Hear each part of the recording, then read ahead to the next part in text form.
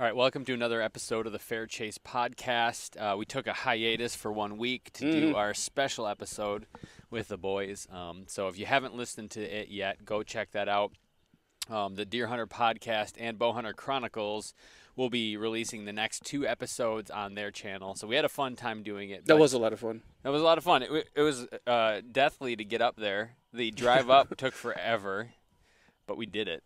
We did. It was kind of sketchy on the way back. We'd hit a poc- pocket of snow, then it'd be sunny out. We hit another pocket where you can barely see over the hood of your truck. Remember following that semi? Holy cow! All you like, could see- hopefully he doesn't crash. all you all we could follow on the road were just two tracks of semis, Yep. just swerving. It's like, oh, he's going around something. And sure enough, a car would be going slow Yeah. in the other lane. It's like, holy cow! That night, right by my house, there was an 80 car pileup right on the highway for that. Because all of a sudden, if something stops or crashes in front of you, you can't see until it's like right there, and it's like, Mhm. "Bleh." so yep. a lot of fun. Uh, got to meet a lot of cool people, and uh, you know, it was kind of a bummer. When we did all that driving, we got to the cars, and you dropped me off at my car, and I left my phone in your car. I went I was all like, the way home. because I realized it as you were. I saw you getting on the highway. I'm like, there's no way to stop him. They're, no, too far gone. and I didn't notice until five minutes down the road. I'm like, well, what if I turn around? Nope. Is he still gonna be there? No, I it figured was I'll not. just you did the right thing. yeah, just go to where you, you expect me to go. I didn't get that phone till the like for at least 24 hours. Being 24 Was hours without a phone was sweet. Yeah, it was good. Just It was disconnect a little bit? Yeah, yeah, it was very. Um, well, just by the end of it, it's like, oh, now I have to worry about deal with the phone again when I got it back. People calling you, and texting you. Well, good thing I I texted your wife and Yeah. like, hey, I've, and if, and I was like, it was nice about phone. it. If it's a real important message, people just ask Laura. So Right. she's like secretary. yeah, it's not. It's a nice nice perk to have with that, but I would have. It would have been nice not to have a phone, but at the same time, sketchy weather, not having your phone. I know. It's like if I'm in the ditch somewhere, I'm just just gonna just call it. It's got- I'm, roll that was a over, good run. roll over. Um, so we're outside today uh, in a neutral, uh, secure location, undisclosed, Mhm. and uh, it's if you can if you're watching this, you can see the sunset behind us. There's open fields uh, where I'm assuming there's probably turkeys. I mean that if that over there doesn't look like a turkey habitat, kind of down you know, with those that that's Turkey City. I Little bet. bottom field corner, some ridges, probably a creek flowing back Yeah, there. that'd be sick. That's dynamite. So we're very excited um, for that. I mean, obviously we're excited. First, we got our bear hunt. We do have our bear hunt, our Alaskan coastal black bear, coming up in two weeks. We'll be there. Actually, Less than two. less than two. Wow, That's gonna be 12 days. freaking sweet. We're gonna be living on a boat the entire time. We're gonna be catching halibut and rockfish during the day, and then scooting out on a skiff into like these uh, glacier runoffs as they are, or the openings where these rivers come into the gla- grass flats where these bears Yes. are eating. Eating blue mussels too. Blue I- I, think they'll if they. I don't know if it'll be if they'll be out, but um, what's cool about it that we've never done before is we're bringing actually kind of like a new quasi member of the team a Mm. little bit. Um, a guy named Jordan who, uh, who's going to be filming it, and like Jordan's legit. He's good. he does. legit. He does good work. So um, I am extremely excited for that. Um, just to share the story of it. Like we always Mhm. talk about it, but it, it, we've always looked forward to taking people along with us in a way that we don't do with, on our uh, a phone. Because sometimes on our phone we'll do. It's kind of fun, and people seem to really like it. But it's like we could be a little bit artistic with it. Yeah. Well, artistic. Jordan can be Yeah. artistic with it. I've been thinking through this. Like it's just it's gonna be fun. So we're filming that. So that will come out. And well, and it's, it's I don't I think it's a surprise. We can't say who we're working with yet Mm-hmm. on some of this, but it will be uh, it'll be a big deal. Anyways, keep your keep your eyes peeled. Um, but today this is episode two of Turkey, Yes. so I'm gonna turn it over to you. You're Turkey guy. So, what we covered in the first episode on our trip up north, uh, we talked about basically understanding the basics of a turkey, what they do during the day eat, sleep, breed, go to bed. Decent day. And if you're able to just kind of hone in on those aspects, you can start to start start to start pinpointing areas that you want to look at. So like if you were on public land and you didn't have anywhere to go, where do you even start? So that's what we covered in episode 1, just kind of briefly. Um, but we wanted to dive in a little bit deeper onto calling strategies just cuz that's a huge component of turkey hunting and it's something that you need to be well not necessarily well versed in, but I think you should have a good understanding of what the different calls mean Yeah. in how these turkeys are communicating back to you. So Did you bring a turkey call? To I didn't know. I'm glad. That's just you can talk about it. Okay. He's a good caller. I I have got a, a few basic moves, you know, Yeah. that work. Yep. But like you, you have more time spent into the ins and outs of that. I mean, if you if you go to a hunting store or a hunting expo and you go to the turkey calling section, everyone always picks up a call and they'll do a yelp right away. Walk, walk, walk, walk. Yeah. You know, if they grab the box, they're just grinding on it or just chipping away at that slate call. No, no one's really sharing diaphragm calls, hopefully, at the place. But yeah, um, that I would say that is that and the cluck are the two basic calls those are my two. you should learn how to do. And I purr though. I can purr, I purr a lot. can you purr? when they get close, I like to purr. I, I stop calling and I'll just like get let out a purr every once. Do you know what a purr is? It means ah, I'm just like chill. Yeah, you're like, chill, I'm just right? kind of doing my day. So if you're purring, you know you're giving that little, you're just barely scraping the tip of that. If you're using a sl- slate call, you know you're just barely dragging it across, making that. That is a hen in her, in her zone. Like she's just feeding. She's having a good time. She's relaxed. I think of it like a chicken, you know, and like chickens, if you hear them, like they're just pecking around Yeah. there. Yeah, exactly. Yep. Yeah. That's what a happy hen's gonna do. Yeah. She's gonna cluck and she's gonna purr, and she's just gonna be content. So that's definitely one, and it's it's always very soft. Like turkeys can hear very very well. So e- even just the smallest little purr on there, like especially when they're getting in close, it's just signifying, hey, I'm just a happy hen, Just chilling, just chilling out, right? Um, I I find it interesting about uh, quiet, Laney. Uh, I find it interesting about uh how well they can hear and locate. Yes, Like they can hear you and know exactly where you are better than uh, the vice versa. right. So like to go off what you're saying, if you've got a tom roosted up in a tree, you know you're set up somewhere close. And you can hear him gobbling and you let out you know just a soft little yelp or something and a different turkey hears you like way a ways Yeah. that tom knows almost exactly where you are Pinpoint. exactly very pinpoints right where you are i don't know how they do it but they're incredibly good at it But that I'll say one thing, not to jump ahead. Keep that point in mind because sometimes what happens is you overcall thinking they're not going to know where you are. I've had done that in the past. Like, oh, there's no way, so I got to keep calling him so he locates me. But I found that if I call, he find he responds.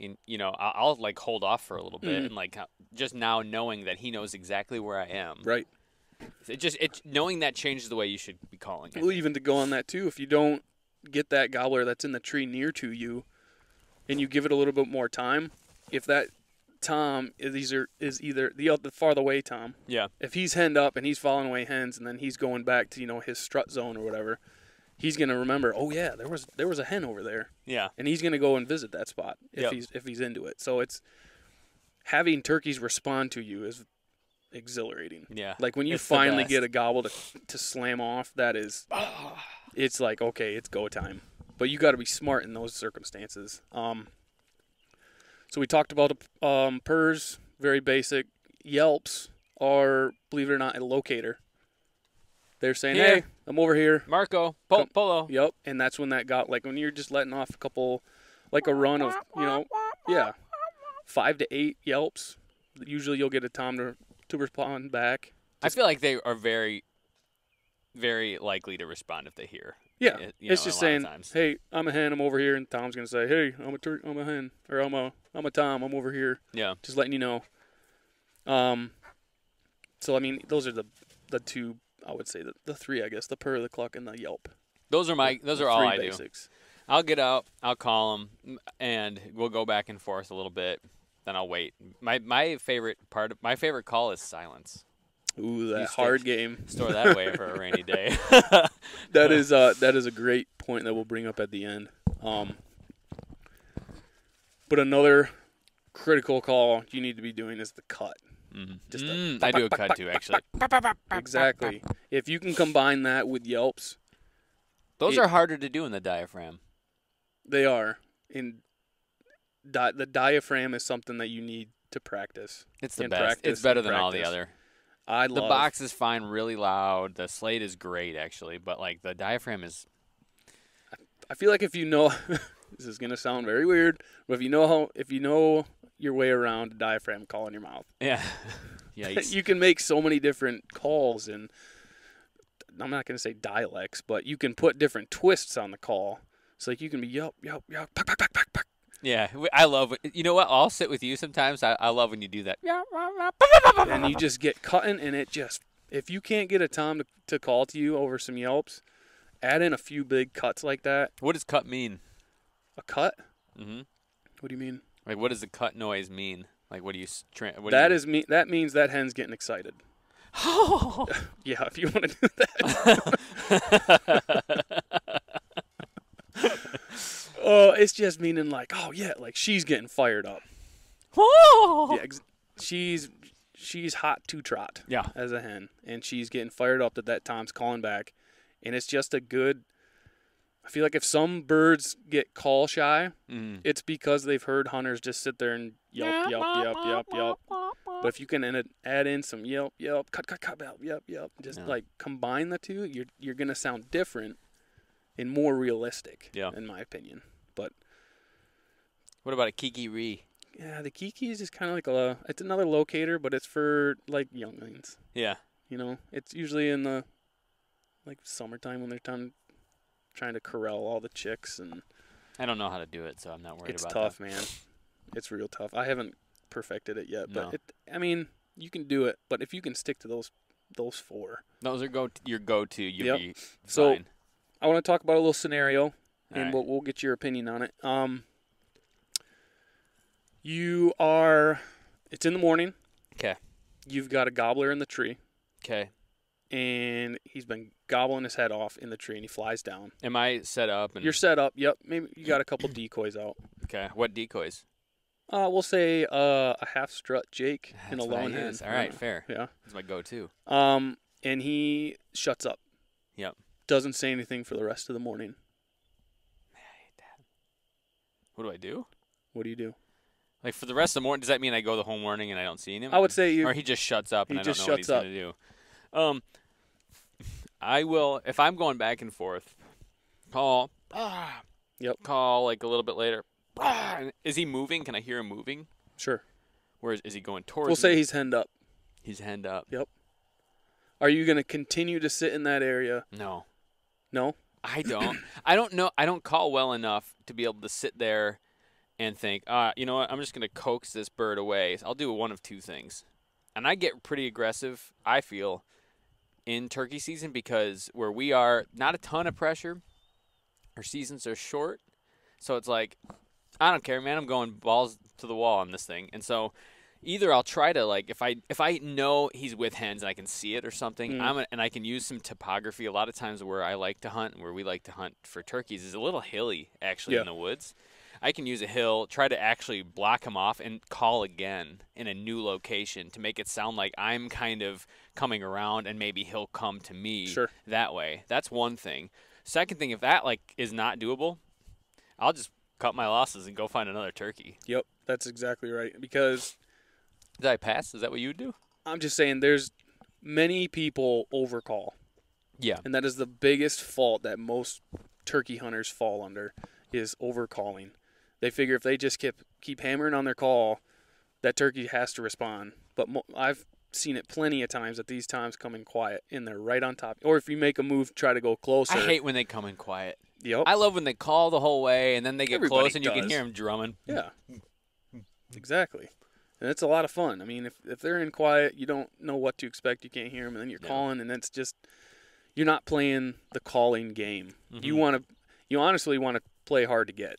Sometimes I feel like the longest minutes out in the field hunting anything are where you hear for a turkey and like then nothing happens for a while and it's like are they coming towards me or away am i wasting my time i feel like i get more anxious about moving in those moments than like like i can sit and wait for deer all day or like glass all day for bears or whatever but it's like once i'm not like sure if the turkey's moving towards me and i'm like all right like You gotta get antsy. i gotta go you gotta get the itch. yeah No, that's smart. I mean, different different turkey behavior warrants different strategies. I mean, there's some turkeys that'll come right to you on a string, and you can you can probably sit and hammer on your call the whole time, and they're gonna come right to you. But like you were getting at earlier, there's other turkeys that will they'll get to their strutting zone and they'll almost play like a push pull, mm-hmm right? So if you g- come in closer and then call, he's gonna back up. Yeah. and then if you back up and call, We did that with that closer. one turkey two years ago. Uh, we were like laying on the ground. mm-hmm. Uh, yeah, like because he, he would come close, and then we just could not get him to close that gap, and we called it on that that bird. those are hard turkeys to hunt, man. It was just like eventually he kind of moved away, and it's like, all right, we have wh- what, and we we talked about this in the first episode, but like because we're so like mobile or like aggressive, I don't know, like we're willing to move around. It's like, all right, that one's out next. We'll go find another Mhm. bird, and it's like, all right, that one's out. We'll keep moving here, and like, oh, and it's like you're Which is a great problem to have. You're leaving turkeys to go hunt other Oh, turkeys. dude. it's like, why It's are you so- leaving? It's so fun. Well, all that does is, in my opinion, you can always go back the next day for that turkey and try to hit him a different way. One and two, it's like we have a short, usually a short turkey season. Although this year we'll have longer, Mhm. um, but usually we have a short turkey season. So it's like, like I better get as much hunting in in the day as I possibly can. Yeah. And so call. If he's being a turd and just goes the other way, just like, all right, well, you know, So ano- I guess another scenario I'll ask you, and we do this a lot, but if you're, um, we'll say it's past your morning hunt, you couldn't get that gobbler to, to Yeah. hit back. You're now leaving your setup. Yeah. And you're gonna go run and gun. oh yeah, I love that. It's a good. Yeah. I love the run and gun. What is your strategy for calling on that, and why? What I've liked to do, I'll take maybe a hen with me. Sometimes, usually I'll take it with me, and a lot of times I won't end up using it. but we'll walk and call and just locate. Sometimes, you know, what we should be getting a crow call. We should be trying to to shock gobble something. Shock gobble. I- yeah, crow calls. we We'll haven't do done that. much of that. Like I would love to do, but anyways, we'll walk, try to get him to sound off, maybe by yelping. When we got it, we play that. We a lot of times we'll look at our map Sure. and be like, all right, where is he right now? Where are we? Like, where it makes the most sense for him to move? And then let's make it easy for him to come to us. What type of call are you doing? Yelp locator. Just a yelp. Yeah. Yep. Yeah, and then like if he com- if he starts to play ball, then it's like I'll start to do different things. You know, Yeah. different things. Okay. W- w- is that what you what you do? No, that's. Ex- I mean, obviously we hunt the same way. Yeah, that's exactly what I just we wanted kind of you to say. learned the it. same way, yeah. Well, and a lot of things that I've learned, I learned from you, or the hard way. And usually the hard way, we are together on it. right? You know. or it's But- just Jared go call. yeah, it's like usually I'm like Jared. All right, I'm gonna go up here. You go behind me and call for a while. Yeah, no, it's um basically you're just walking every 100, 200 yards, letting off a soft yelp. If you get one, if you get one to call back, he's usually pretty close. Yeah. If you hear him far away, you can make a play at him. Yeah. And then sometimes they're not gonna respond back with a yelp, and that's when you sometimes if you can get a quick cut, cut, cut, they hammer back, and then it like you just Then the game's afoot. yeah, you just got like I said, you just got to know what the calls are for when you're trying to talk like a turkey. You know, Yeah. if they're not getting a response from "Hey, I'm over here," then just be like, "Hey, I'm over here." I'm really over here. just get get them fired up. Like there's different ways of communicating with turkeys. You just got to know how to do it and which call to do it with. I love it. So Could not agree more. I mean that other than don't overcall Yeah. and know your calls, Yeah. you're going to be a lot more successful this year and just getting just start practicing now because you don't want to get out there and start practicing when you're in the field. and you're going out with a shotgun? Yeah, I'm going shotty this year. That's exciting. Yeah, I liked it. I liked it a lot better. Um, Just because you can like. yeah, it was it was a quick quick clean kill. Um, less equipment to bring along. I love hunting a turkey with a bow. Don't It get me wrong. fun, That was yeah. a lot. It's a lot of fun. Um, but I decided to get a shotgun last year, and it's It really paid off. you love to see it. it's pretty sweet. So I'll probably Maybe I'll try. I've not done the shotgun thing. I like to. Sh- I do like the bow. Uh, one reason I prefer it is less birdshot. Yeah, that's true. But I mean, if you hit It's the not head, that big of a deal, the head, really. gonna What I want to do this year, um, when I tried to do yesterday, is take that skeleton, boil Hmm. it down, and then take the bones. And Laura, my wife, is going to rebuild it. it. I got her. cool. A, I got her a book, like a how-to book. Found it online. Some guy named the Bone Man. I wrote it.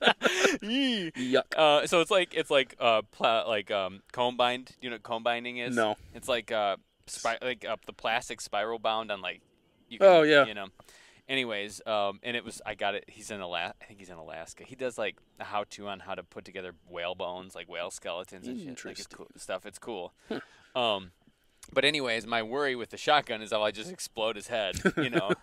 so I'm gonna try to do that. I'm gonna my we've tried the the boiling down a couple times on birds and stuff. And it just it just doesn't work great. Yeah. I'm getting the beetles if I shoot one. I think. That'd be sweet. I think I'm gonna clean them. Just get and my my hope is to get the beetles this spring and have them all summer and like start collecting some roadkill, like cool roadkill. yeah, man. You know, and Like get like skunk. anything that has a cool skull. I can have a cool bunch of cool skulls. I'm fine. With, I'm I'm not ashamed of picking up roadkill. Some flesh-eating beetles, cool. man. I've got some weird. Jimmy's colony of fresh flesh-eating beetles. I've got some weird stuff. Like I've got a weasel in my freezer right now. I've got some birds that we found. We got like a bunch of stuff that Yeah, I'm. that fox. Uh, I still I have its tail. Oh yeah, that's right. Yeah, he, yeah, yeah. He's gonna be sweet. It's Mm-hmm. uh, it was like one of those black and red foxes. It was pretty sweet. Um, anyways, so I'm gonna try to shoot one, and I'm I want to try to get the beetles and do the whole turkey like skeleton. yeah. That'd be bad. That's gonna be cool, man. bone. Well, I hope you get one with a bow. I hope you get one with a shotgun. Are you? Uh, when are you going? Are we, right when you get back? Or are you just going that weekend when you get back from Alaska? Why it's got soccer for a few weeks, and then my. Saturday's free up. I just got a Tidewe pop-up blind, so Oh, I can take the I kids, kids in there. The Tidewe has the 270 degree, kind of like a perforated screen, so you can see out, but you can't see in. Yeah. Oh, it's so cool. Are you bringing the kids? The kids are coming, so they can look all the way around. The the, oh, that would be sweet. the windows just kind of like slide down. There's no Velcro. you taking it to Big Rapids? Uh, I I, don't know. Okay. I'll probably take the kids out somewhere down in Allegan. Yeah.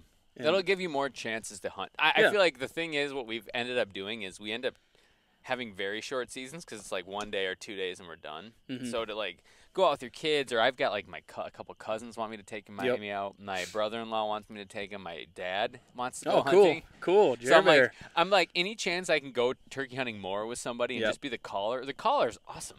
mm-hmm. Great practice. I want I want in the field practice. Um, I got I've got one of my old uh calls, but I think I need a new one this year. We should talk to Joe. I know. Actually, you know what I like the most though? The Woodhaven. I got a Woodhaven I like one. Woodhavens. It was an orange, and it just I called well with that one. But some of those Rocky Mountain specialties were really good too. They're real we good. should call Joe. I already have. Frickin' you have? Yeah, Did you get me? Can you get me one? we'll talk. All right, yeah. We'll let's talk about that. No, I- know a guy on the inside. it's gonna be good. Turkey season's gonna be very exciting. It's coming up. Get out there, start learning your calls, and we can't wait to hear how everyone else does this season on some of this stuff. So we're actually gonna wrap this up. It's gonna be short and sweet. There's not a whole lot to talk about calling unless you're a master caller, and Which we're not. I am not. We just know what works for us. hmm And that was real basic. So hopefully you gleaned something off of that. Mm, Um, gleaned. yeah, indeed. If you have any questions, shout out a question on Just write us a message, or yeah. just where you can get a hold of us in many different ways. We check them all, Yep. Facebook, um, Instagram. Even email. Yeah. Oddly enough. Yeah. Pop us an email. We'll be happy to answer it. So if you have any questions, reach out. Otherwise, stay tuned for next week.